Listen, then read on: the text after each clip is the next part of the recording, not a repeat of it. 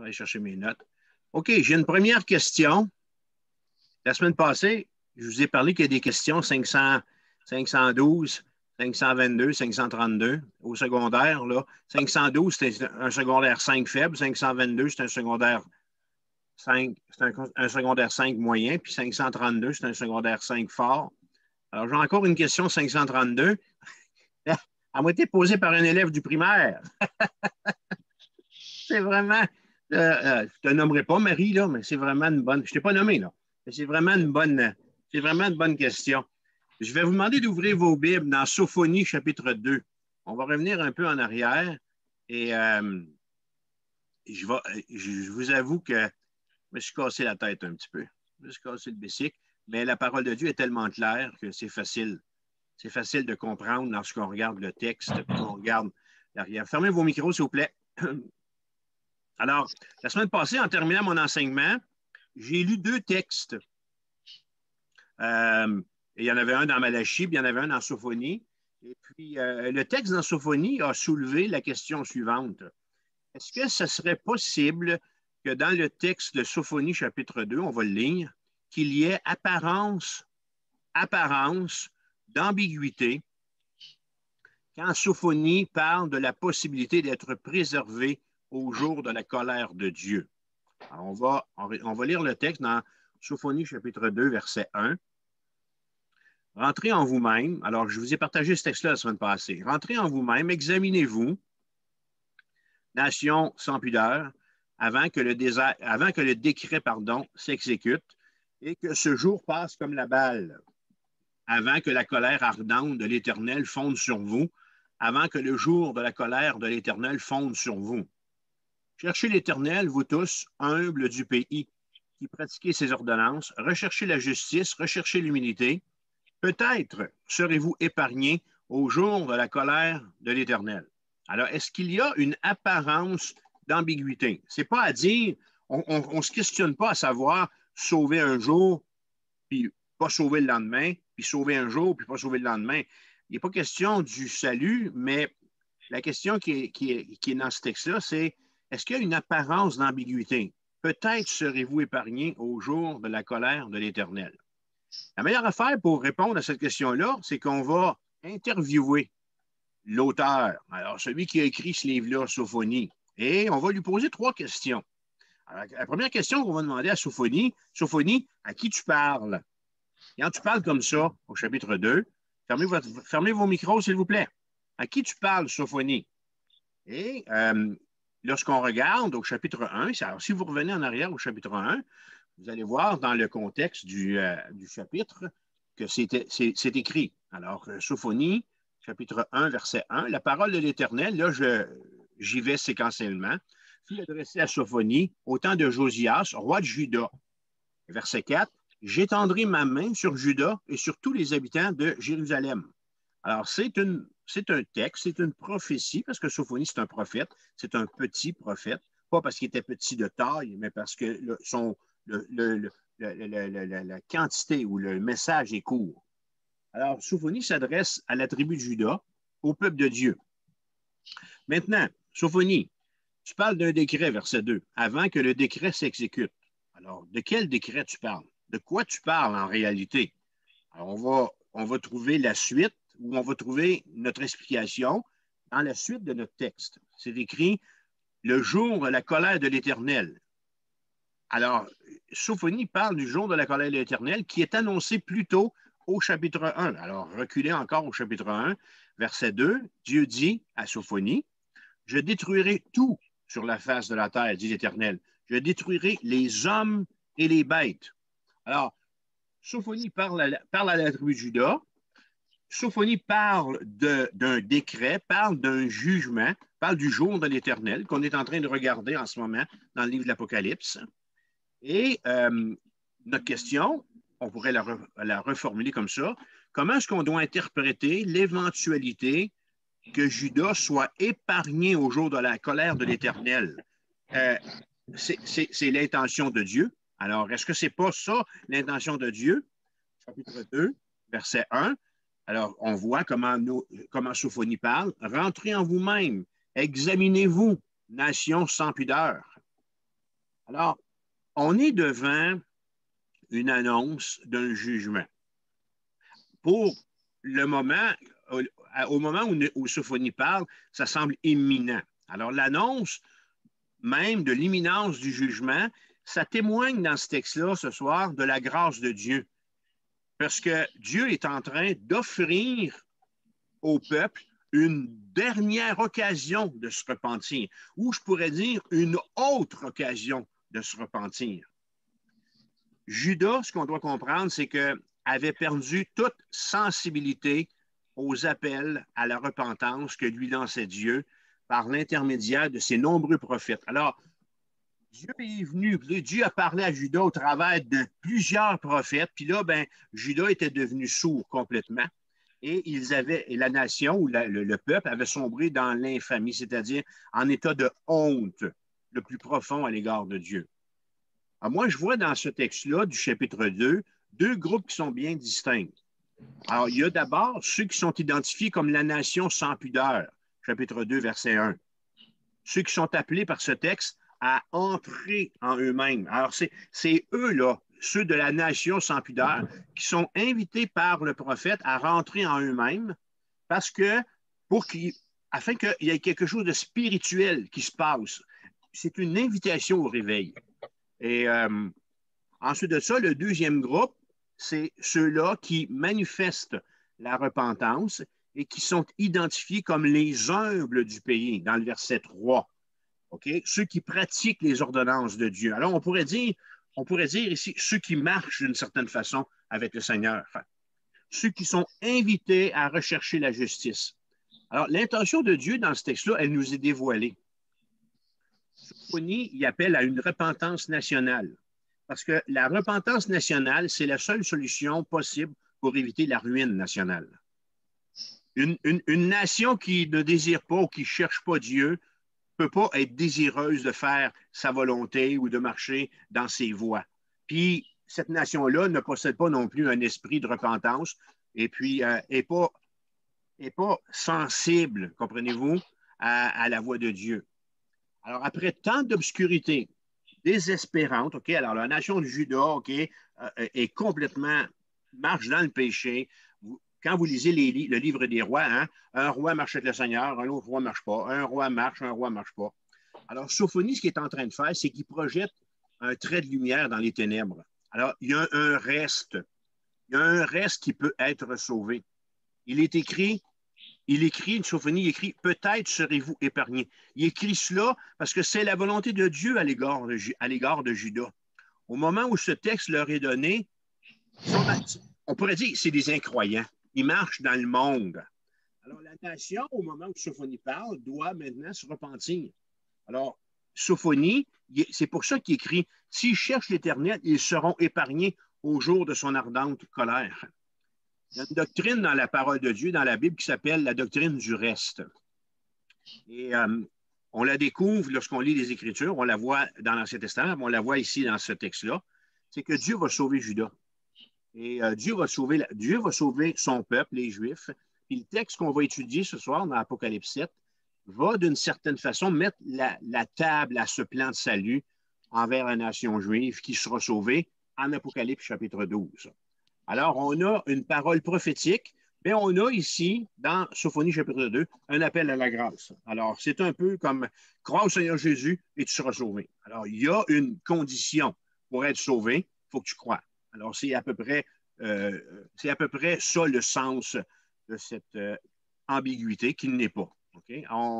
On, explique toujours un texte euh, sombre par un texte plus clair.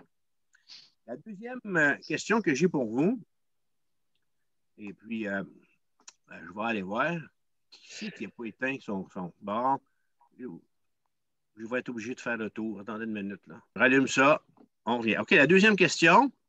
On va aller dans Matthieu 24. Euh, en Matthieu 24, j'ai parlé aussi la semaine passée de l'abomination de la désolation. Alors, c'est moi qui ai posé la question. Alors, je me pose la question, est-ce que j'ai dit, en réalité, ma question c'est la suivante, est-ce que j'ai été jusqu'au bout? Est-ce qu'il y a d'autres choses qu'on devrait savoir au sujet de l'abomination de la désolation? Quand vous lisez ça en Matthieu 24, de quoi ça fait référence? Alors, Matthieu 24, verset 15, Jésus, dans ce texte-là, dit, c'est pourquoi, lorsque vous verrez l'abomination de la désolation dont a parlé le prophète Daniel, établi en lieu saint, que celui qui lit fasse attention. Alors, on a un texte ici qui fait référence, comme de raison, Jésus le dit, à Daniel, Daniel chapitre 9. Alors, c'est écrit dans Daniel 9, verset 27. Il fera une solide alliance. Alors là, je, suis juste en train de vous donner un petit peu plus d'informations concernant l'abomination de la désolation que Jésus prophétise ou annonce en Matthieu 24. Alors, il cite ou il fait référence à un texte qui a été donné euh, par Daniel, le prophète, quand il dit Il fera une solide alliance avec plusieurs pour une semaine, et durant la moitié de la semaine, il fera cesser le sacrifice et l'offrande. Le dévastateur commettra les choses les plus abominables jusqu'à ce que la ruine, jusqu'à ce que la ruine et ce qui a été résolu fondent sur le dévastateur. J'ai pas une minute, j'ai un doute. Oui, c'est bon. Je me demandais si j'avais reparti l'enregistrement. En 168 avant Jésus-Christ, il y a un souverain grec qui s'appelait Antiochus ou Antiochus, Antiochus Épiphane. Et ce qui a fait ce souverain-là, ce roi-là, c'est qu'il a établi un hôtel dédié à Zeus. À quel endroit? Sur l'autel des Holocaustes dans le temple juif de Jérusalem et il a été jusqu'à porter l'ignominie, jusqu'à sacrifier un cochon dans le temple de Jérusalem sur la table des holocaustes. Alors cet événement-là de l'Antiquité est connu comme l'abomination de la désolation. Quand Jésus a parlé de l'abomination de la désolation, cet acte historique s'était déjà accompli, s'était déjà fait il y a à peu près 200 ans qui se sont écoulés, parce que Jésus parle de ça il y a à peu près une trentaine d'années. Alors, 165 plus 33, à peu près 200 ans. Et Jésus, ce qu'il est en train de faire, c'est qu'il prophétise par ce texte-là, dans Matthieu 24, l'avènement d'une nouvelle abomination de la désolation qui va avoir encore lieu dans le temple juif de Jérusalem, celui qui n'est pas reconstruit celui qui va être construit à Jérusalem, à l'endroit même où est le temple, le dôme doré. La plupart des exégètes, ceux qui étudient la, parole de Dieu puis qui l'expliquent, la plupart des exégètes pensent qu'il fait référence, que Jésus fait référence à l'Antéchrist, qui va faire quelque chose de très semblable à ce qu'a fait Antiochus Épiphane. Alors, Antiochus Épiphane devient ici, c'est pour ça que je l'ai ramené à cause de ce que je veux dire ici, devient ici un type de l'Antéchrist. Alors, vous allez vous souvenir, il y a deux semaines, j'ai parlé de la typologie, j'ai parlé de Melchisédek qui était un type de Jésus-Christ. Alors, Antiochus Épiphane, par le geste de profanation qu'il a fait en 165 avant Jésus-Christ, en sacrifiant des cochons, un cochon ou des cochons, dans le temple à Jérusalem, devient un type de l'Antéchrist qui va lui aussi faire quelque chose d'aussi abominable. Et cet événement-là, ce n'est pas encore produit. Il est à venir. Alors, ça, c'est confirmé par Daniel 9, verset 27. Mais il y a une réalité ici, c'est que la prophétie de Daniel 9, 29, 9 27, elle ne s'est pas entièrement accomplie en 168 avant Jésus-Christ avec Antiochus Épiphane. Parce que à ce moment-là, ce roi-là n'a pas fait alliance avec Israël pour une durée de sept ans. C'est l'Antéchrist qui, je, vous mets, je vous mêle, je parle de 165, je parle de 168, c'est 168 avant Jésus-Christ. OK? Alors, c'est l'Antéchrist qui, à la fin des temps, va établir une alliance avec Israël pendant sept ans et qui va la violer par un acte semblable à l'abomination de la désolation dans le temple juif de Jérusalem. Je douterais, on doute qu'il va encore faire la même chose puis qu'il va sacrifier des cochons. Parce que vous savez que les Juifs ne mangent pas de porc. C'est un animal impur. Mais quoi qu'il en soit, ce que l'on pense, c'est que cette abomination de la désolation, elle va révéler à tous, sans aucun doute possible, que son auteur est l'Antéchrist. Apocalypse 13, 14 dit qu'il va faire une sorte d'image que tous vont être obligés d'adorer. Il va transformer le temple du Dieu vivant en lieu de culte de l'Antéchrist. Alors, on pense que c'est ça l'abomination de la désolation à laquelle fait référence Jésus à Matthieu 24, 15, celle qui est à venir. L'Antéchrist va, avoir une image, une icône, une statue à son effigie? Et il va inviter tout le monde à l'adorer. Et ça, il va installer ça dans le temple. Alors, c'est une, une abomination de la désolation, c'est une profanation. Ceux qui seront restés pendant la tribulation devront être attentifs et reconnaître que cet événement va marquer le début des trois années et demie qui sont les pires, la deuxième partie de la période de la tribulation. Alors, c'est ce que je voulais vous dire concernant une autre précision sur l'abomination de la désolation. Alors, quand vous lisez ça, OK, il y a un événement historique avec Antiochus Épiphane qui a profané le temple avec euh, des sacrifices de porc. Et il y a une allusion aussi qui est faite à l'Antéchrist concernant euh, le fait qu'il va s'asseoir même euh, sur le trône, hein, dans le temple. Alors, ce soir, c'est notre 20e euh, rendez-vous. Alors, on va aller dans, au chapitre 7. On est en train de, regarder la, grande section, la deuxième, une, deux, la troisième section du livre de l'Apocalypse. On est en train de regarder les chapitres 6 à 18 de notre livre. Et ensuite de ça, il va nous rester 19 euh, jusqu'à la fin, euh, qui va marquer le retour de Jésus, et ainsi de suite. Alors, on est en train de regarder le temps des tribulations. On, étudie cette période de sept années dans laquelle Jésus, ou pardon, Dieu va, euh, c'est la même personne, Dieu va accomplir trois séries de jugements. Sept sauts, sept trompettes et sept coupes. Apocalypse chapitre 7, verset 1, on va le lire un petit peu plus loin. Jean écrit après cela. Alors, on a ici un connecteur logique qui nous aide à comprendre que on vient de changer de scénario. Là, On est comme en train de vivre quelque chose d'autre. C'est comme s'il y avait eu une publicité ici, là, puis euh, on, aurait été à la salle de bain, puis on revient. OK? Alors, après cela. Après cela, quoi? Le texte qu'on va étudier s'intercale. Alors, on est entre le sixième et le septième saut. On a regardé le sixième saut la semaine passée, la crainte remplit la terre, puis la semaine prochaine, c'est le huitième saut. Alors, les sauts dont je parle depuis quelques semaines sont le jugement que Dieu exercera au temps de la fin. Le livre de l'Apocalypse nous présente Jésus dans le ciel. Je suis en train de faire un petit, euh, un petit retour en arrière. Alors, le livre de l'Apocalypse nous présente Jésus dans le ciel qui est en train d'ouvrir les uns après les autres ces sept sauts qui scelle le livre de Dieu qui fait état du jugement de celui-ci. Euh, les événements de notre texte, ils appartiennent au futur. Tout ce qu'on est en train de regarder là, c'est à venir. Et ça appartient au futur. Avant que le monde y arrive, voici ce qui doit se produire. L'Église de Jésus-Christ, qui attend le retour de son Seigneur, en ce moment, vous et moi, va le voir revenir en deux temps. Le premier temps, ça va être le, moment pour, pour Christ de prendre auprès de lui ceux qui auront cru. Et le deuxième temps, ça sera pour lui un retour définitif sur la terre avec les siens dans le but de régner avec nous. Alors, Apocalypse chapitre 4, le Seigneur vient chercher son Église. Apocalypse chapitre 19, on revient avec lui pour régner pendant mille ans sur la terre.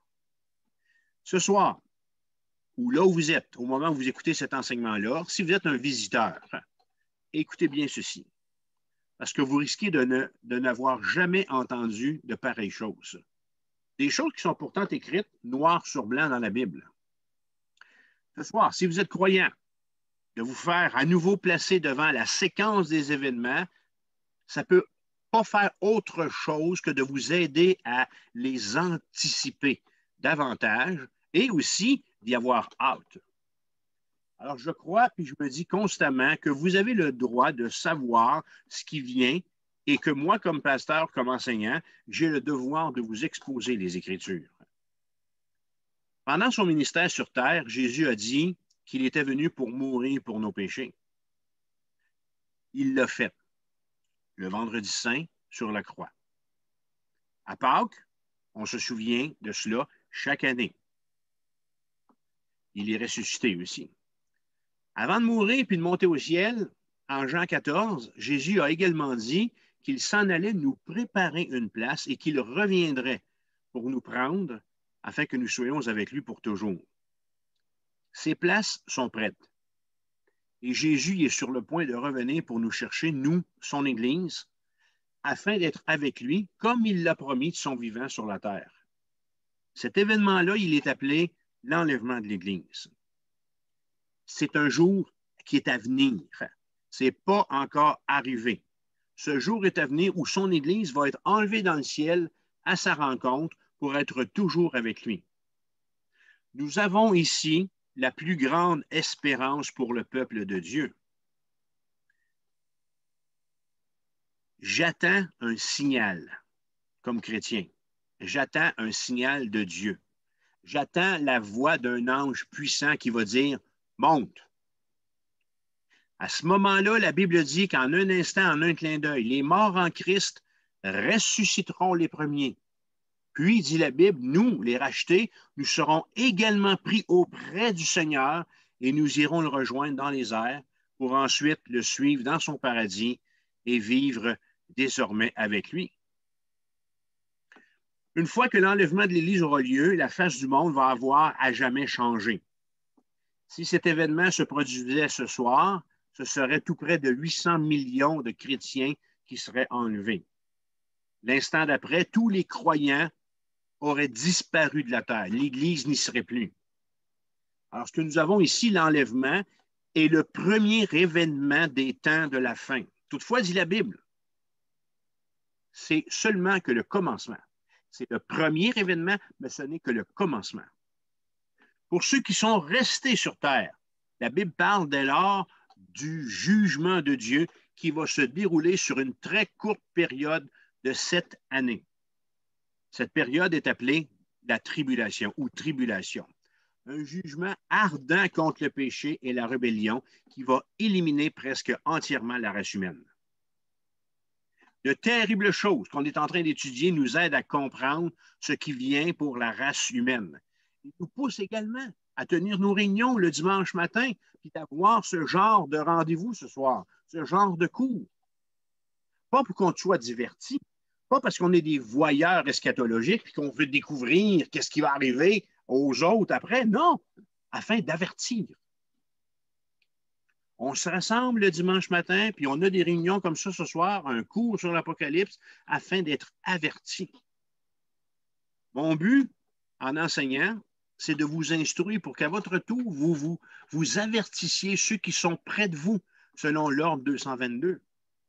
Et notre but, en vous recevant à l'Église, c'est de vous dire comment échapper au jugement de Dieu, à l'Église ou sur euh, cet événement-là ce soir. Si on négligeait de le faire, là, ce serait une grande perte pour l'Église de Jésus-Christ, puis ce serait une grande perte pour le monde. Alors, comme Église de Dieu, on ne peut pas taire cette réalité et on doit absolument informer les gens autour de nous. Jean a écrit au chapitre 1 de l'Apocalypse, verset 3, Heureux celui qui lit et ceux qui entendent les paroles de la prophétie et qui gardent les choses qui y sont écrites, car le temps est proche. C'est pas moi qui le dis, c'est la parole de Dieu. Alors, il y a moyen d'y échapper. Alors, toute cette séquence-là de jugements établis ou qui vont durer sur une période de sept années, il y a moyen d'y échapper. Jésus nous l'a dit. Alors, si là où vous êtes, vous n'avez pas encore fait l'expérience de donner votre vie à Jésus, de grâce, mourrez pas jusqu'à la fin de mon enseignement et restez avec nous afin que vous puissiez avoir toutes ces explications-là et réponses à cette question. À la fin, je vais prier pour vous. Alors, arrivé au chapitre 7, l'enlèvement de l'Église a eu lieu. Et les premiers chapitres de l'Apocalypse nous ont enseigné, jusqu'ici la dure réalité de ce qui attend l'humanité après l'enlèvement. Alors, une première vague de jugement rapportée dans le chapitre 6 nous a fait voir les six premiers sauts. Chaque saut nous a placés devant des jugements différents. Le premier saut, moi je calcule que c'est un des pires dans les 21. 3 fois 7, 21. Je calcule que le premier saut, c'est un des pires, c'est l'esprit de séduction qui va amener le monde à adorer Satan. Une apostasie grandiose. On a vu les quatre chevaliers partir à la conquête du monde et le premier qui monte un cheval blanc part sans aucune arme. Il s'en va récolter des armes. Alors, le premier saut, on voit qu'il y a un esprit de séduction puis qu'il va y avoir une apostasie mondiale. Le deuxième, on a assisté à la fin de la paix, oui, et à une, guerre mondiale probable que ce sera la troisième, là, parce que s'il y a une troisième, je ne sais pas comment on va faire passer au travers. Alors, on pense bien que la troisième va être la définitive. La troisième, le troisième saut pardon, parle d'une famine planétaire qui va amener au quatrième saut la mort par l'épée et par les épidémies, et par les épidémies du corps de la population mondiale. Alors, je ne sais pas si vous savez, là, alors près de 8 milliards d'habitants en ce moment, on en enlève 800 millions qui sont montés au ciel. Ensuite de ça, ce qui reste, on enlève le corps qui meurt par l'épée et les épidémies. On est au quatrième saut.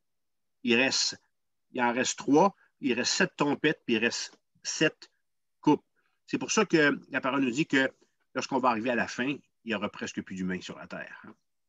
Le cinquième saut parle de l'appel des martyrs. Alors, on a été placé devant une prière, une prière qui est faite à Dieu pour la justice suite à la persécution de Satan pendant la tribulation. Cette prière-là, a été faite par les personnes qui ont été martyrisées par Satan. Le sixième saut, c'était notre sujet de la semaine passée. On a vu la mise en place de la réponse de Dieu à la prière des martyrs du cinquième saut et on a assisté à un terrible cataclysme planétaire, un tremblement de terre qui, par sa force, va avoir convaincu les sceptiques que les jugements qui se produisent sont de Dieu. Alors, vous ne pensiez pas qu'on allait faire de la géophysique, hein, mais la semaine passée, c'est ce qu'on a fait quand on a regardé tous les bouleversements avec euh, ce qui se passe dans les souterrains de notre belle, de notre belle, et, belle, de notre belle et bonne terre.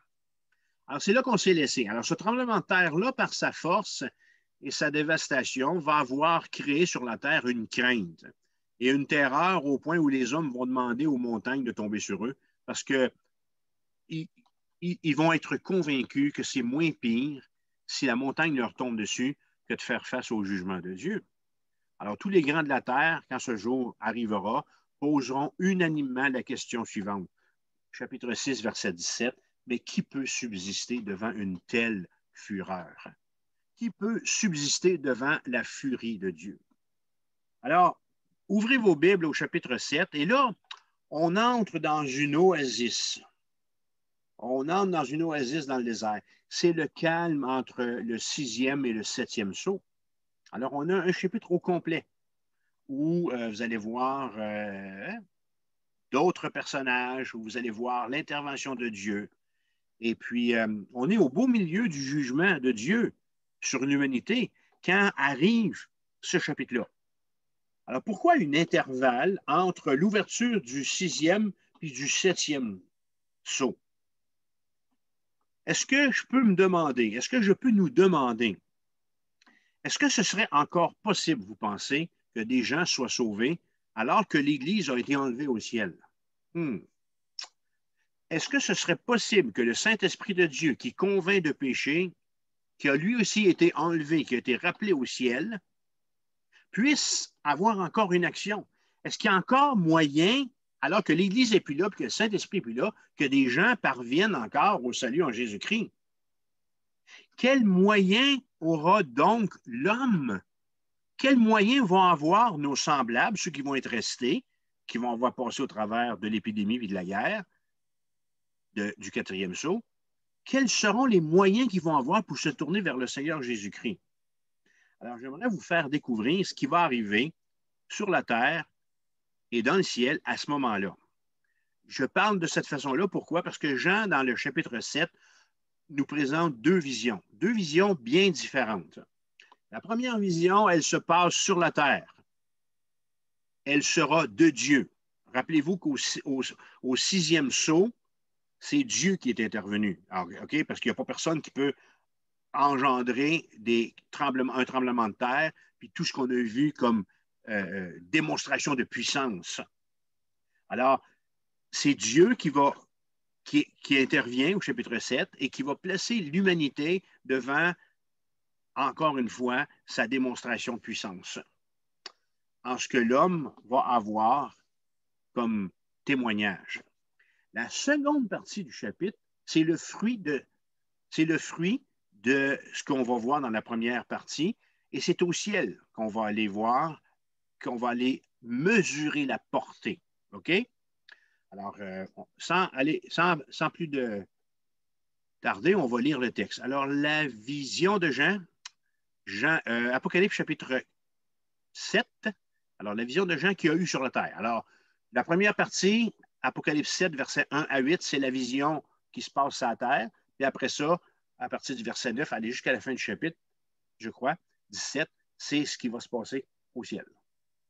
Après cela, je vis quatre anges debout aux quatre coins de la terre. Et là, regardez bien, regardez bien la démonstration de puissance. On en a eu une au chapitre 6 avec le sixième saut. Regardez l'intermède qu'on a ici, ou l'intervalle, on est dans une pause, je vous l'ai dit, entre le sixième et le septième saut. Regardez toute la démonstration de puissance ici. Après cela, je vis quatre anges debout aux quatre coins de la terre. Il retenait les quatre vents de la terre afin qu'il ne souffle point de vent sur la terre, ni sur la mer, ni sur aucun arbre. Et je vis un autre ange qui montait du ciel, qui montait du côté du soleil levant et qui tenait le sceau du Dieu vivant. Il cria d'une voix forte aux quatre anges à qui il avait été donné pardon, de faire du mal à la terre et à la mer, et il dit, ne faites point de mal à la, terre, ni à la mer, ni aux arbres, jusqu'à ce que nous ayons marqué du sceau le front des serviteurs de notre Dieu. Et j'entendis le nombre de ceux qui avaient été marqués du sceau, 144 000, de toutes les tribus des fils d'Israël.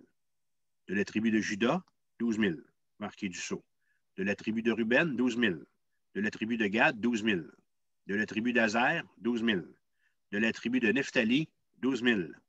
De la tribu de Manassé, 12 000. Ce sont tous, les noms qui sont là, ce sont tous les fils de, fils de Jacob. De la tribu de Siméon, 12 000. De la tribu de Lévi, 12 000. De la tribu d'Isaacar, 12 000. De la tribu de Zabulon, 12 000. De la tribu de Joseph, 12 000. Et de la tribu de Benjamin, 12 000, marqués du sceau. Alors, qu'est-ce que je peux dire en introduction? Le chapitre 6, je vous l'ai dit tantôt, il s'est terminé sur une question qui peut subsister. J'ai ajouté, est-ce que c'est possible d'être sauvé pendant la tribulation? La réponse, c'est oui. Oui. Le chapitre 7 nous en donne la preuve. Là, on est au pire moment de l'histoire de l'humanité, après l'enlèvement de l'Église. OK? Troisième guerre mondiale, un tremblement de terre qui a fait changer les continents de place et euh, le quart de la population qui est morte. Alors, c'est vraiment euh, la fin du monde. Hein? Alors, on est au pire moment de l'histoire de l'humanité, après l'enlèvement de l'Église. Et il y a une foule d'indicateurs qui vont convaincre les nations de se tourner vers Jésus. Ces indicateurs-là sont les suivants. Faites attention à la liste parce qu'il y en a qui vous concernent vous allez être responsable de certaines personnes qui vont venir à Jésus pendant les tribulations. Alors, ces indicateurs, ces indicateurs sont les suivants. D'abord, les places laissées vides dans les églises et dans la société. Les hommes puissants et respectés vont avoir disparu. Alors, il va y avoir des places vides. Vous ne vous présenterez pas au travail le lendemain. Vous ne serez pas euh, à la garderie le lendemain, ou ainsi de suite. Un autre indicateur, le souvenir de tous les messages prêchés. Ce que vous avez dit va porter écho. Va porter écho. Je regarde sur mon babillard. Sur mon babillard, j'ai deux enveloppes destinées à deux personnes différentes. Probablement que les personnes vont venir dans mon bureau chercher ces enveloppes-là pour lire le contenu. Troisième indicateur, tout le matériel écrit et multimédia. Alors, les gens vont être à la recherche de tout ce qui a été dit concernant l'enlèvement de l'Église et tout ce qui a été dit concernant la fin des temps. Vos Bibles que vos familles liront pour découvrir ce qui vous est arrivé. Ensuite de ça, un autre indicateur qui va convaincre les nations de se tourner vers Jésus-Christ, les deux témoins que Dieu va envoyer et les 144 000 évangélistes qu'on a à notre chapitre 7. Ces évangélistes-là vont entrer en scène après l'enlèvement de. Et leur arrivée ne se fera pas au son du piccolo, s'il vous plaît, OK? Ou sous les éclairages d'un théâtre. Dieu va totalement arrêter les éléments. On l'a lu, OK? C'est pas là une petite lumière de flashlight, là. Mesdames et messieurs, ladies and gentlemen, les 144 000. Non, non. Alors, je vous offre d'étudier ce chapitre-là sous quatre thèmes. On va regarder la protection dont ils vont être euh, les bénéficiaires. On va regarder leur onction, on va regarder leur identité et on va regarder le fruit de leur ministère.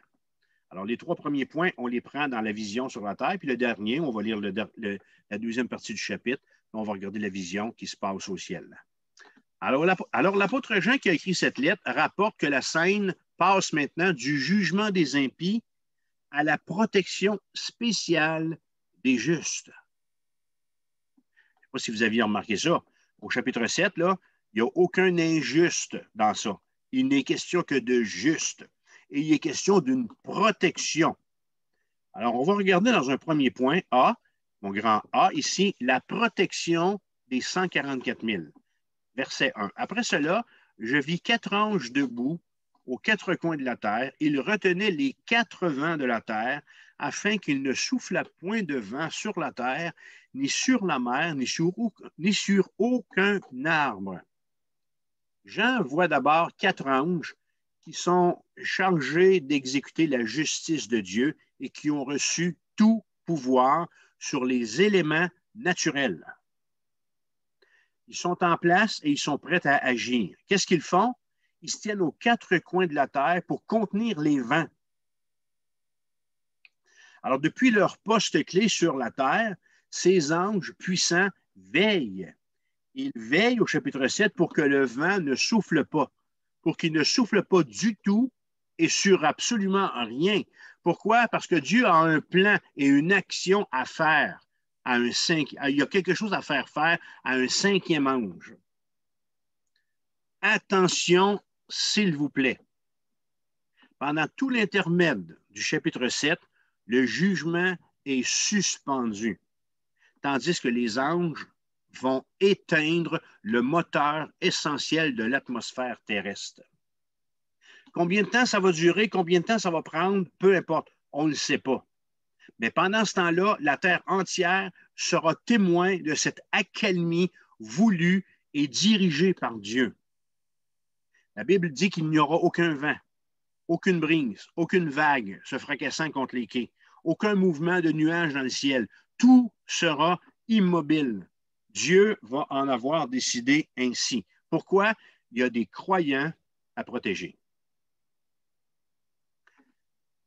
Jamais l'homme n'aura été témoin que le moteur de l'atmosphère prenne une telle pause. Ah, Josué, à un moment donné, lorsqu'il se bat, euh, il regarde sa montre, puis il voit que le temps avance, puis il fait une prière, puis je pense que c'est lui que Dieu a arrêté dans sa course le soleil? Ensuite de ça, il y en a un autre que Dieu a fait reculer le soleil de quelques degrés. Euh, alors, jamais dans l'histoire humaine, l'homme va avoir été témoin d'une telle démonstration de puissance. Alors, il s'agit d'un déploiement incroyable de puissance, car la circulation de l'atmosphère constitue un moteur puissant, actionné par l'énergie solaire et la rotation de la Terre. Pourtant, quatre anges seulement vont éteindre ce moteur gigantesque. Allez me dire, oui, puis la gravité là-dedans. Alors, ce n'est pas mon problème, c'est le problème de Dieu. Est-ce que les Chinois vont nous tomber sur la tête ou est-ce que nous autres, on va tomber sur la tête des Chinois? Peu importe, mais Dieu a une action à, faire, OK, et il prend tous les moyens pour la faire. Alors, par le fait même, les vents étant retenus, ce sont également les fléaux, encore plus destructifs du jugement des trompettes, qui vont être aussi arrêtés dans leur, dans leur exécution. Mais pourquoi? Pourquoi, Seigneur? Pourquoi est-ce que tu fais un tel geste? Qu'est-ce que tu as en tête? Quel est le plan que tu as pour ces personnes-là, pour ces gens-là? Grand B, on va regarder quelle est l'onction des 144 000, leur mise à part. ces 144 000-là, là, ils ont un travail à faire. Ils ont quelque chose à faire. Et je vis, verset 2, et je vis un autre ange, alors un cinquième ange, qui montait du côté du soleil levant et qui tenait le sceau du Dieu vivant. Il cria d'une voix forte aux quatre anges à qui il avait été donné de faire du mal à la terre et à la mer, et il dit, ne faites point de mal à la, terre, ni à la mer, ni aux arbres, jusqu'à ce que nous ayons marqué du sceau le front des serviteurs de notre Dieu. La raison pour laquelle Dieu retient temporairement son jugement, elle devient ici claire pour l'apôtre Jean. Il y a un cinquième ange qui se joint aux quatre premiers pour une séance d'identification. Les rois puis les magistrats dans l'Antiquité, il y avait coutume, je vous l'ai déjà dit, de cacheter avec des sauts de cire des objets ou des articles, en les déclarant ainsi authentiques et en garantissant leur sécurité. Cette, cette démonstration-là authentifiait l'appartenance et la protection du document. Alors, dans cette grande période de troubles, les êtres humains seront tous marqués. Dieu identifiera, Dieu oindra Dieu mettra à part ceux qu'il appelle à exercer un ministère pour lui. Le diable, l'antéchrist, laissé seul maître sur la terre, lui, va prendre lui aussi la précaution de singer Dieu, puis de marquer lui aussi ses oeuvres ou de marquer ses dévots. Apocalypse 13, verset 16. Et elle fit que tous, petits et grands, riches et pauvres, libres et esclaves, reçussent une marque sur leur main droite ou sur leur front, et que personne ne put acheter ni vendre sans avoir la marque, le nom de la bête ou le nombre de son nom. C'est ici la sagesse, que celui qui a de l'intelligence calcule le nombre de la bête, car c'est un nombre d'hommes, et son nombre est 666. Ne me posez pas de questions sur le chiffre de la bête, on va regarder ça quand on va arriver là. L'Antéchrist va marquer les humains d'un chiffre qui va les asservir. Alors que Dieu, alors que mon Dieu va identifier les siens grâce à un nom, un nom qui va leur donner la vie. Apocalypse chapitre 14, verset 1. Je regardais et voici, l'agneau se tenait sur la montagne de Sion et avec lui 144 000 personnes. C'est nos 144 000 du chapitre 7. Qui avait son nom et le nom de son père écrit sur leur front. Souvenons-nous ici de, de l'histoire de Moïse puis du pharaon d'Égypte. Au moment où Dieu s'apprêtait à délivrer la nation d'Israël, il a envoyé sur l'Égypte dix plaies. Et au soir de la dixième plaie, la plus dévastatrice, celle qui allait tuer tous les premiers-nés de l'Égypte, quelle a été la consigne que Dieu a donnée aux Israélites? Moïse leur a ordonné de mettre du sang d'agneau sur les côtés de leurs portes, également sur le haut. Et, la Bible nous explique que l'ange exterminateur, en voyant le sang, passerait par-dessus. Quand le moment fut venu, les maisons protégées par le sang ont été épargnées. celles qui n'avaient pas cru ont été les victimes du jugement de Dieu et ont vécu toute cette nuit-là la mort de leur premier-né. Au chapitre 7, l'histoire se répète. Dieu met un sceau de protection sur le front de ceux qui ont cru en lui. Il met son nom. Et pour un but bien précis. Les autres qui sont marqués du chiffre de la bête seront les victimes des jugements qui sont encore à venir. Ça nous révèle ici, les frères et sœurs, ce soir, que le nom de Jésus sauve. Le nom de Jésus sauve et continue de sauver encore en Apocalypse chapitre 7. Êtes-vous en mesure de dire en ce moment que le nom de Jésus est votre sécurité contre le jugement de Dieu? lorsque je révisais cette semaine, je me suis souvenu d'un chant qu'on chantait quand au tout début de ma, conversion. Euh, sur les ailes de la foi, Le nom de Jésus est si doux. Dans la gang, il y a à peu près André Lepage, puis euh, les, les, qui vont se rappeler de ça. Sur les ailes de la foi, numéro 500, 533. Le nom de Jésus est si doux. De Dieu désarmant le courroux, il nous appelle au rendez-vous, précieux nom de Jésus. Et ça chantait, ça. Et, euh, et lorsqu'avec lui je serai, et lorsqu'enfin je le verrai, alors sans fin je redirai, précieux nom de Jésus. Jésus, béni soit ton nom. Jésus, ô merveilleux don, Jésus, suprême rançon, sois adoré pour toujours. Alors, je ne vais pas chanter au complet, faites-en pas. Alors, cette mise à part et la session d'identification qui s'ensuit, en plus de me faire penser à ce chant-là, me fait penser aussi à une parabole de Jésus qui s'apparente à notre texte. Jésus a dit en Matthieu 13, verset 24, Le royaume des cieux est semblable à un homme qui a semé une bonne semence dans son champ. Mais pendant que les gens dormaient, son ennemi vint, sema de l'ivraie parmi le blé et s'en alla. Lorsque l'herbe eut poussé et donna du fruit, l'ivraie parut aussi. On dirait nous autres des choux gras ou de la mauvaise herbe. Les serviteurs du maître de la maison vinrent lui dire Seigneur, n'as-tu pas semé une bonne semence dans ton champ? D'où vient donc qu'il y a de l'ivraie? Il leur répondit C'est un ennemi qui a fait cela. Les serviteurs lui dirent Veux-tu que nous allions l'arracher? Non, dit-il, de peur qu'en l'arrachant, en arrachant l'ivraie, vous ne déraciniez en même temps le blé. Laissez croître ensemble l'un et l'autre jusqu'à la moisson. Et à l'époque de la moisson, je dirais au moissonneur arrachez d'abord l'ivraie et liez-la en germe pour la brûler, mais amassez le blé dans mon grenier. La suite des événements nous laisse voir que cette mise à part protège ceux qui ont été ainsi marqués des jugements de Dieu qui suivent. Apocalypse 9, verset 4, Jean dit, Il leur fut dit de ne point faire de mal à l'herbe de la terre, ni à aucune verdure, ni à aucun arbre, mais seulement aux hommes qui n'avaient pas le sceau de Dieu sur le front.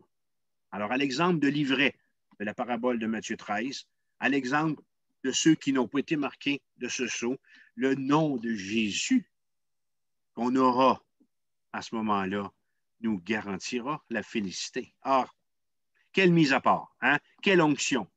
Grand C, quelle est l'identité des 144 000? Je sais que vous avez tellement hâte de savoir qui ils sont.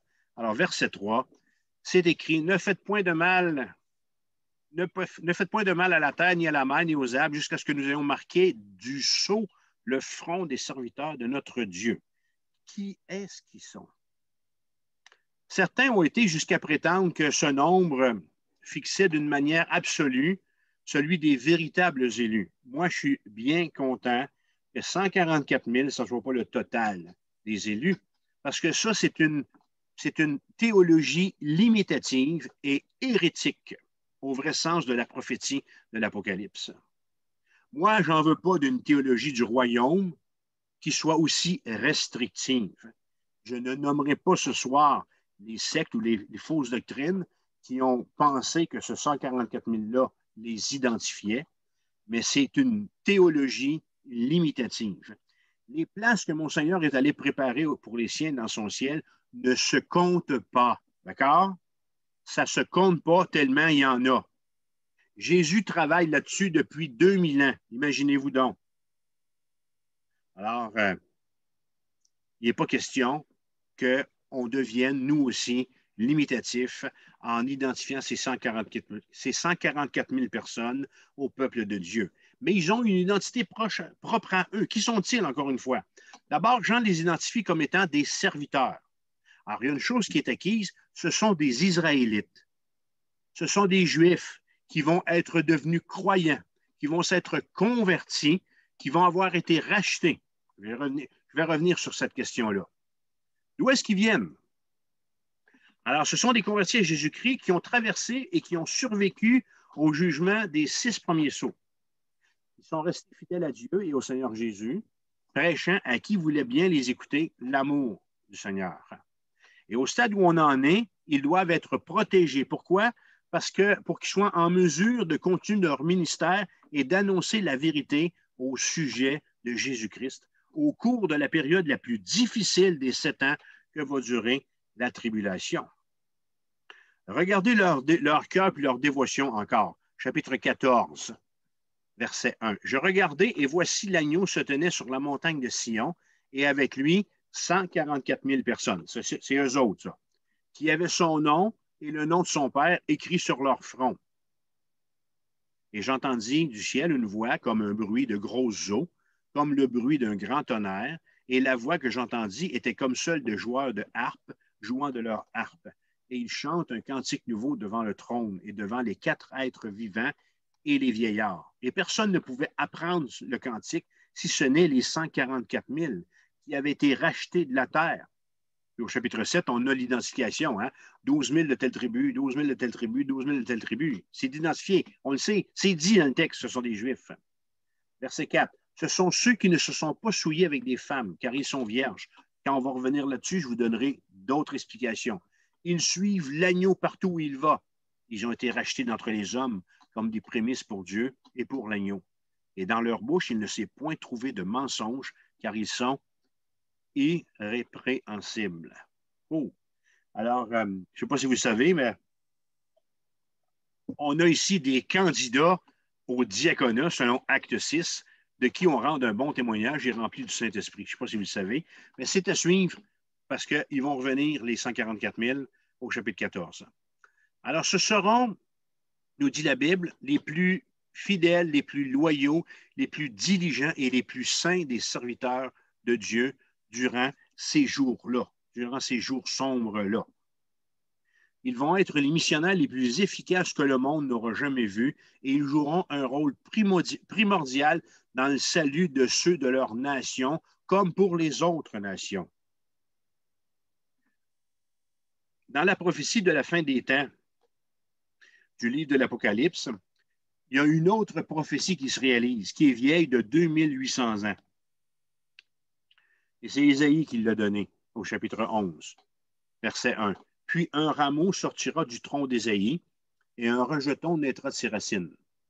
L'Esprit de l'Éternel reposera sur lui. En ce jour, le rejeton d'Isaïe sera là comme une bannière pour les peuples. Les nations se tourneront vers lui.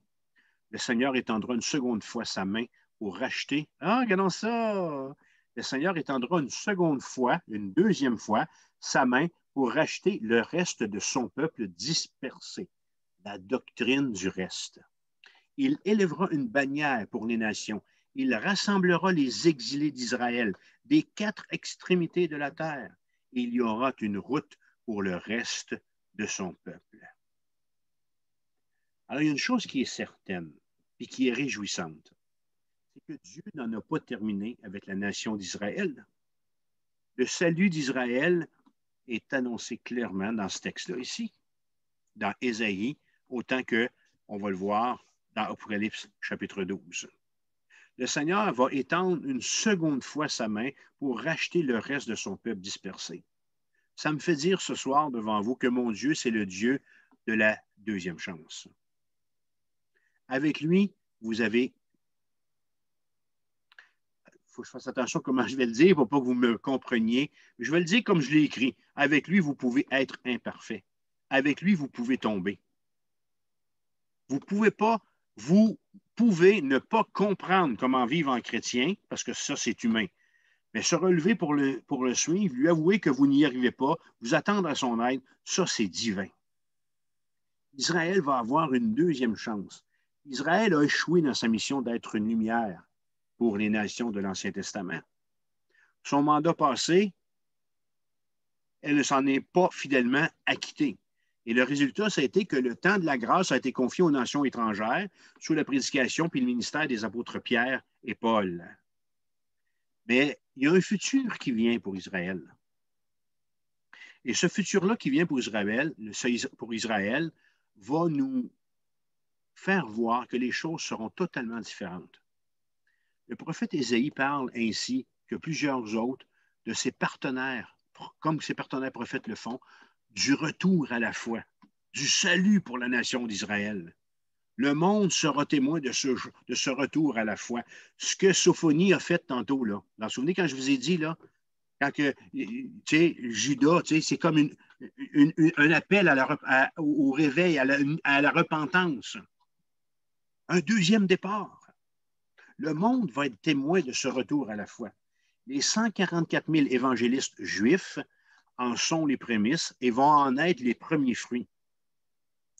La moisson sera beaucoup plus abondante. Les 144 000 verront sortir de leurs efforts une nation d'Israël rachetée, ainsi qu'un nombre incalculable d'autres gens qui auront répondu à l'appel. Ce qui va se passer, c'est un peu comme quand Moïse et Aaron sont sortis d'Égypte. Alors, il y a un million de Juifs qui sont sortis d'Égypte, mais la Bible nous dit, quand on lit le texte, qu'il y a des Égyptiens qui sont sortis avec, puis qu'il y a des gens des autres peuplades aussi qui sont sortis avec eux. Pourquoi? Parce qu'ils ont été témoins. Ils ont vu que le Dieu des Juifs était un grand Dieu, était le seul Dieu. Alors, les 144 000 qui vont avoir prêché aux Juifs, on va voir ces Juifs-là se convertir en masse et ça va avoir une répercussion. Les gens des autres nations vont aussi venir à Jésus. Pouvez-vous dire ce soir que vous avez besoin que Dieu vous accorde une deuxième chance? Parce que le Dieu de la Bible, c'est le seul Dieu de la seconde chance, le Dieu de la grâce. Mon Dieu est dans le business du pardon et du recommencement.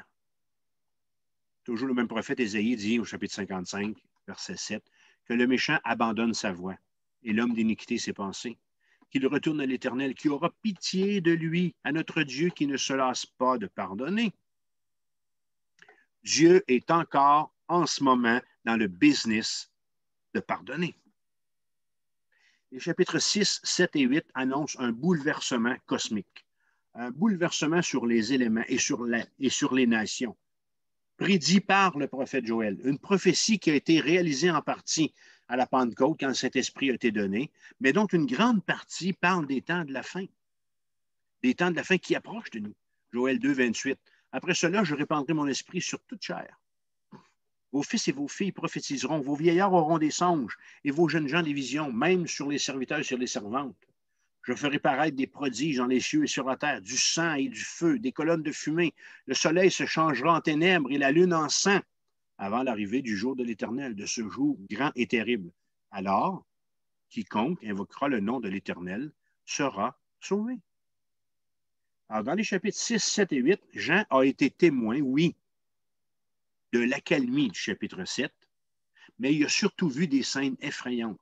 Il a vu toute la désolation du cœur de l'homme sans Dieu, qui périt à cause de sa rébellion devant l'amour du Seigneur. On va laisser de côté la, première vision qui se passait sur la terre et on va aller vers la deuxième qui, elle, se déroule dans le ciel.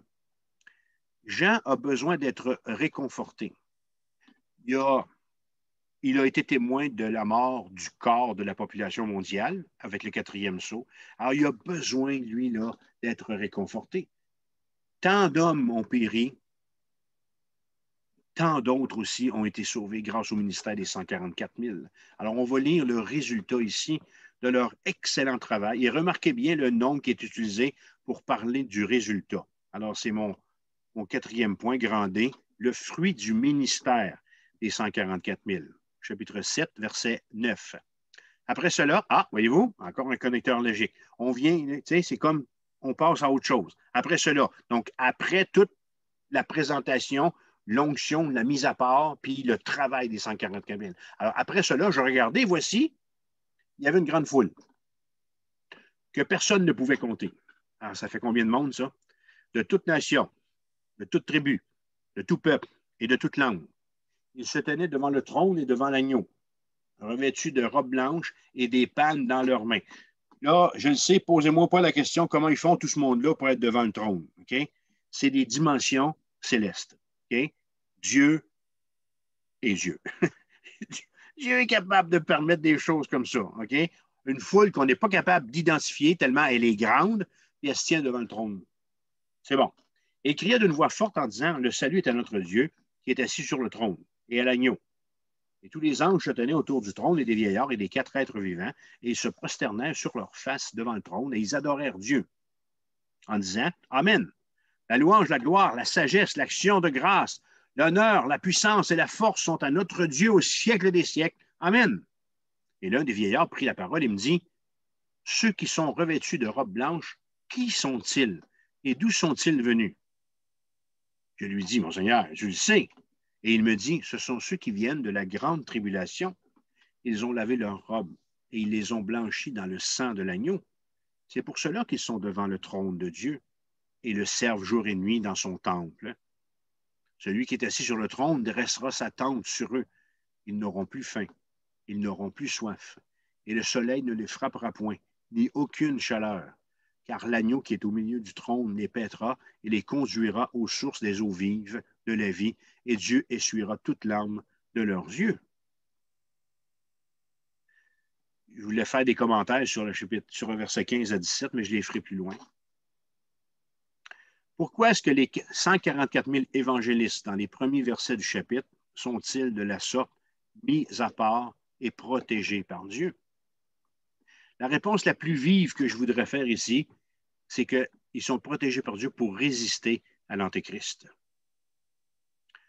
Une fois que l'Église de Dieu sera enlevée, quand le Saint-Esprit ne sera plus, le diable incarné sera devenu le dernier et le plus puissant Antéchrist, nous dit la Bible, et il s'emploiera à traquer et à faire périr tout homme, femme ou enfant qui se proclamera pour Jésus-Christ.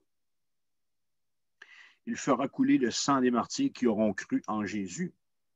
Mais plus ce sang coulera, plus il en viendra des chrétiens. Les 144 000 vont avoir reçu une onction spéciale de Dieu et seront protégés contre cet antéchrist. Et notre second texte en donne la preuve. Alors, toute cette foule de personnes qui vont se convertir hein, pendant la tribulation, les 144 000, les deux témoins et l'ange vont être responsables de cette manne d'âme. Verset 9, il y avait une grande foule que personne ne pouvait, ne pouvait compter. Petit a. Qui sont-ils et d'où viennent-ils? Alors, on a la réponse au verset 13. La bonne question est posée par un vieillard. Je trouve ça étrange qu'il pose la question à Jean. S'il y en a un qui ne peut pas savoir, c'est bien lui. Qui sont-ils et d'où viennent-ils? Je pense que c'était dans un but d'instruction. Les 144 000 Israélites auront annoncé le message de l'Évangile au monde, tout comme l'auront fait les deux témoins dont j'ai parlé et qui entrent en scène au chapitre 11. Je ne veux pas revenir sur les méthodes que l'Antéchrist va utiliser pour faire périr les croyants. On en a parlé. C'est assez épouvantable. Mais je veux mettre ici en relief pour notre édification la chose suivante. L'histoire nous a rapporté qu'à de nombreuses occasions, la réponse au message de la parole de Dieu a eu du succès. Le jour de la Pentecôte vit la naissance de l'Église de Jésus-Christ et Pierre fut surpris de voir 3000 personnes donner leur vie à Jésus suite à sa prédication. C'est la première fois que le bonhomme prêche. La réforme, européenne, du 16e siècle, ensuite de ça, le réveil des Amériques au 18e siècle, ont été les témoins explosifs de la foi pour des milliers, des milliers de personnes qui ont cru en Jésus. Je dis que c'est édifiant ici parce que c'est ma famille qui va être les auditeurs des 144 000. Ces 144 000 personnes-là, ces 144 000 évangélistes vont être les porte-parole de Dieu.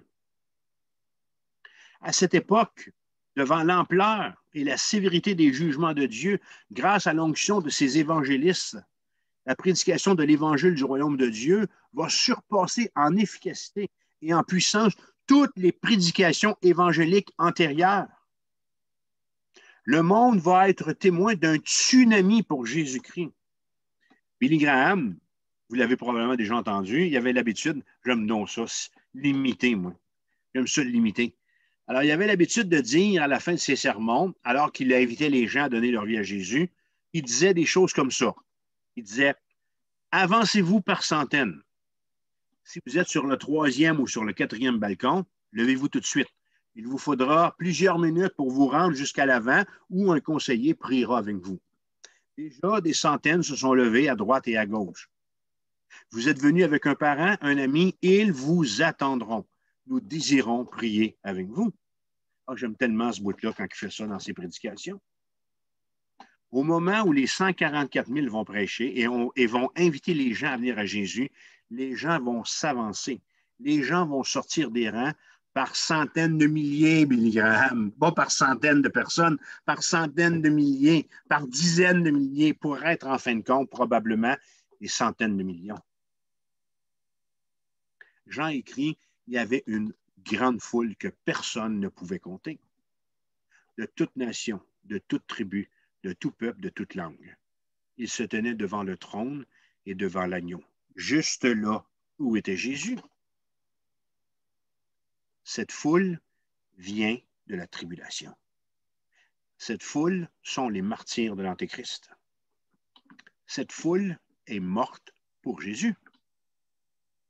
Dans cette grande foule, il y aura mes oncles et mes tantes, vos oncles et vos tantes, mes cousins, mes cousines, vos cousins vos cousines, mes beaux-frères, mes belles-sœurs, vos beaux-frères et vos belles-sœurs, mes voisins, de nombreux amis ou connaissances, vos voisins, vos nombreux amis, vos connaissances, à qui j'aurai parlé de Jésus, à qui vous aurez parlé de Jésus. Il y aura une foule de visiteurs qui, comme vous, seront venus m'entendre dans les églises où j'aurai été pasteur et qui seront venus entendre que le salut est dans le sang de Jésus-Christ, qui vont être là. Il va y avoir une foule de personnes à qui vous allez avoir parlé, que vous allez avoir invité à un déjeuner des femmes, à un dîner de Noël, à un, brunch du pasteur. On a ça à New Richmond, entre autres, un brunch du pasteur.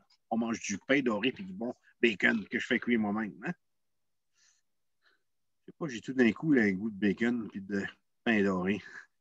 Dans cette foule, il y aura des centaines de gens que vous connaissez. La Bible dit que ça va être une bénédiction planétaire.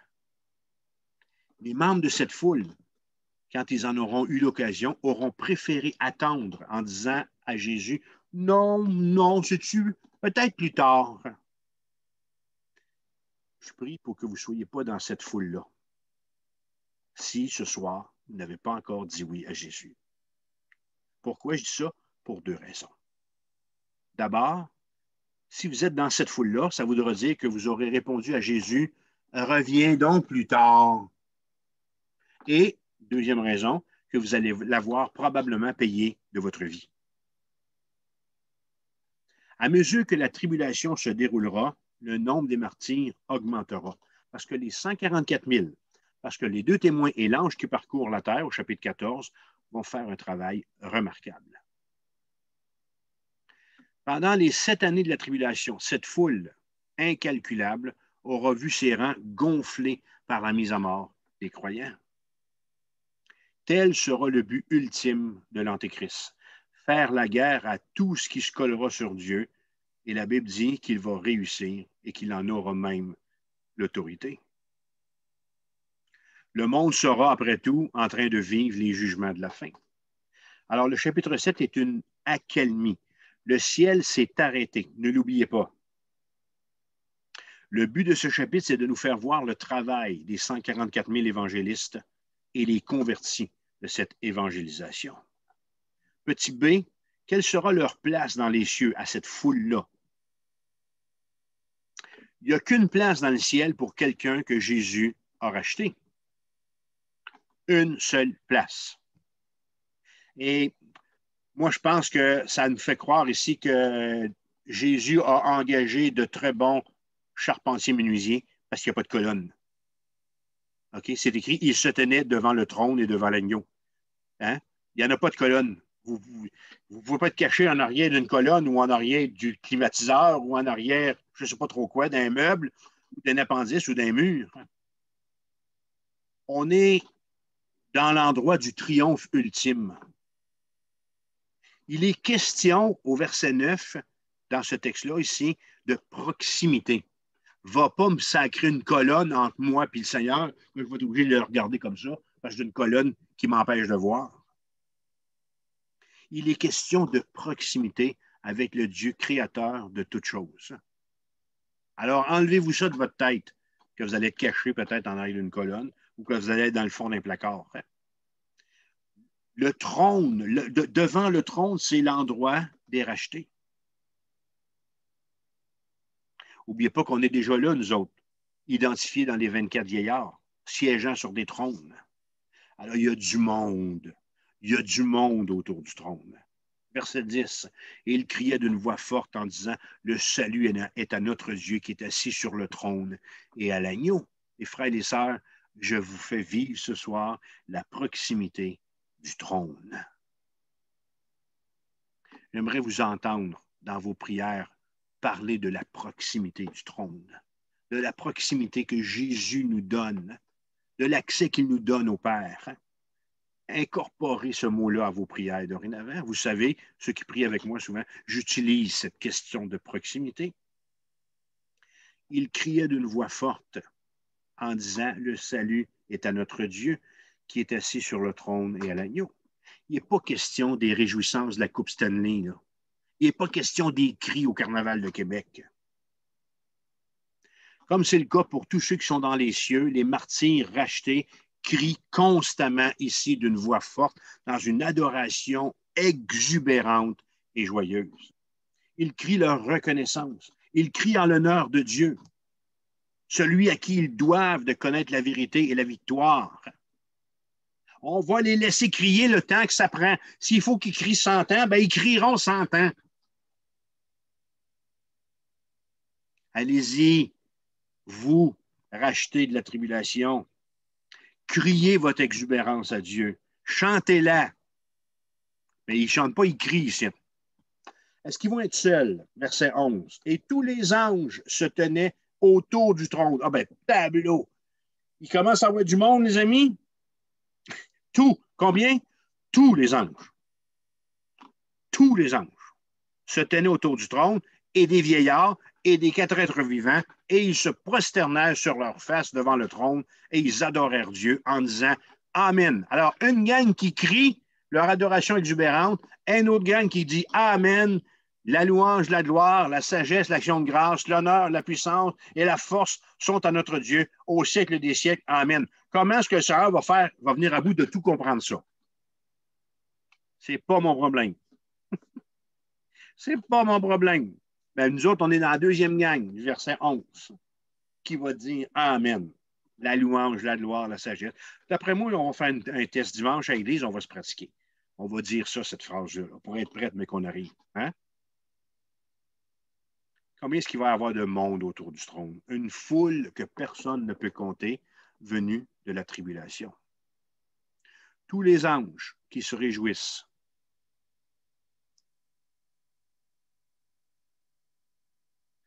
Bon, OK, voilà. Alors, une foule que personne ne peut compter, venue de tribulation, tous les anges qui se réjouissent du salut des hommes, les vieillards qui représentent l'Église, dont tous les croyants d'avant la tribulation. Alors, ça, c'est, on est là-dedans, nous autres, là, puis les saints de l'Ancien Testament.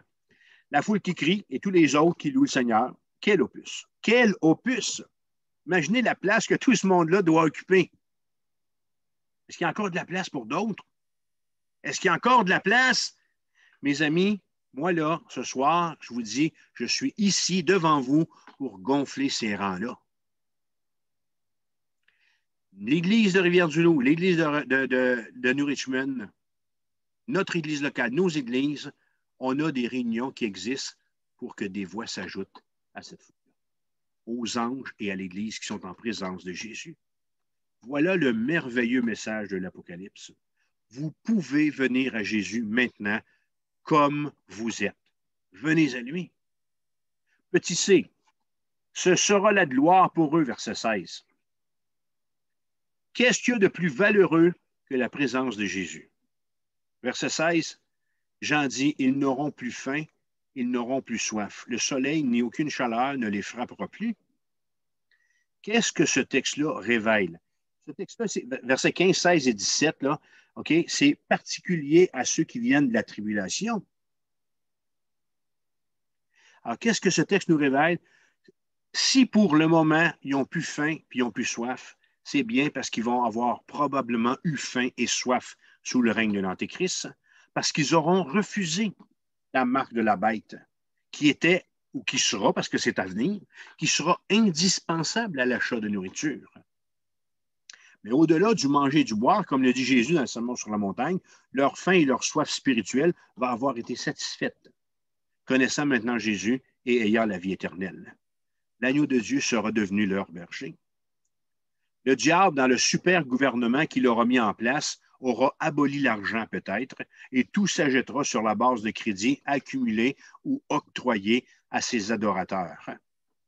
Non, quand vous allez vous faire vacciner pour le COVID, vous n'allez pas vous faire inoculer une puce qui est la marque de la bête. Non. OK? Mais cette foule, dès qu'elle sera en présence de l'agneau, sera récompensée. Elle sera pour toujours dans l'endroit le plus sûr qui soit, c'est-à-dire la présence de Dieu. Telle est la volonté de Dieu pour nous tous, le bon, l'agréable et le parfait. Jean nous a présenté ici une vision du ciel, notre demeure éternelle. Notre, récompense sera de vivre ainsi au ciel avec Dieu et avec Christ. Est-ce que Jésus est votre sauveur personnel? Est-ce qu'il y a quelque chose qui vous empêcherait en ce moment de lui dire, écoute, ben, oui, vous pouvez dire le même, OK? Seigneur Jésus, j'ai vraiment besoin que tu interviennes dans ma vie ce soir. Ou au moment où vous lisez, ou, au moment où vous entendez ou vous regardez ce message-là. Rends ma vie, Seigneur. Moi, je n'en suis plus capable. Je ne suis plus capable de la conduire. Savez-vous que la Bible dit, je l'ai dit tantôt, heureux ceux qui ont faim et soif de la justice, car ils seront rassasiés. C'est une promesse. Si devant Jésus-Christ, vous reconnaissez avoir faim et soif de la justice que lui seul peut donner, il dit qu'il est en mesure de vous rassasier. Jésus a aussi dit qu'il était le pain de la vie, ou qu'il est le pain de vie. Celui qui vient à moi n'aura jamais faim, et celui qui croit en moi n'aura jamais soif. Faisant référence à une faim et à une soif spirituelle. Alors, dans cet âge qui est encore à venir, cette foule que personne ne pouvait compter sera gardée. Elle sera mise de côté, à l'abri de tout inconfort par la seule présence de Dieu. Ils vont avoir payé. Ces martyrs-là vont avoir payé leur vie, leur foi à Jésus-Christ. Mais Isaïe répète encore, ils n'auront pas faim et ils n'auront pas soif.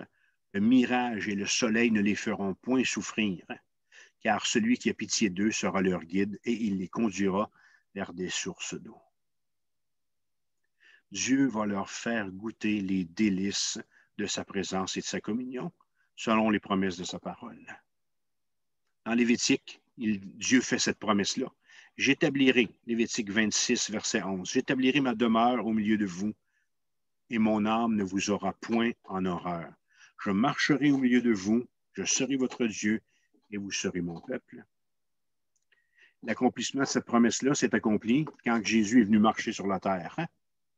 La Bible nous dit que la parole a été faite chair et elle a habité parmi nous, pleine de grâce et de vérité, et nous avons contemplé sa gloire comme une gloire, comme une gloire, une gloire comme la gloire du Fils unique venu du Père. Et cette promesse-là, ben, elle va s'achever dans la gloire du ciel. Apocalypse 21. Et j'ai entendu du trône une voix qui disait, Voici le tabernacle de Dieu avec les hommes il habitera avec eux et ils seront son peuple, et Dieu lui-même sera avec. Alors, qu'est-ce qu'on a vu ce soir? On a vu deux choses. On a vu l'identification de 144 000 évangélistes qui sont des Juifs. Ils sont clairement identifiés dans notre texte, 12 000 de chacune des tribus. Et on a vu aussi leur protection, on a vu leur onction, leur appel, et on a été témoin aussi du fruit de leur ministère, une foule innombrable de toutes les nations, de tous les peuples. Alors, qu'est-ce que je peux dire en terminant? Faites de l'Éternel votre berger afin de rien manquer et surtout de ne pas passer à côté de la grâce, à côté de la grâce de Dieu. La victoire fidèle, nous dit la Bible, lui appartient déjà, ainsi qu'au sien. C'est écrit, et moi je sais que j'en fais partie. Prions. Seigneur, je veux te dire merci pour ce que j'ai entendu ce soir. Seigneur, je veux, je veux comprendre que j'ai besoin, j'ai besoin de toi. N'ai pas fait cette décision encore de te faire confiance, de te donner ma vie. Alors je te demande, Seigneur, de pardonner mes péchés, de venir dans mon cœur, de venir dans, de venir dans mon âme, de venir dans mon esprit, Seigneur. Viens m'habiter. Que ton Saint-Esprit, Seigneur, me dirige dorénavant. Pardonne mes fautes. Aide-moi à vivre pour toi, à marcher pour toi. Parce que j'ai la foi, parce que j'ai cette confiance que tu entends ma prière et que tu y réponds. Amen. Que Dieu vous bénisse, les frères et les sœurs. Que Dieu nous aide là où nous sommes hein, à être ses témoins, vigilants, à chercher, à être à, l'écoute, à chercher à prier pour ces personnes de paix que le Seigneur met sur nos chemins, sur nos routes, afin de leur tendre des pêches et de les voir à leur tour, eux autres aussi, donner leur vie au Seigneur Jésus. Dieu vous bénisse. La semaine prochaine, l'ouverture du septième saut.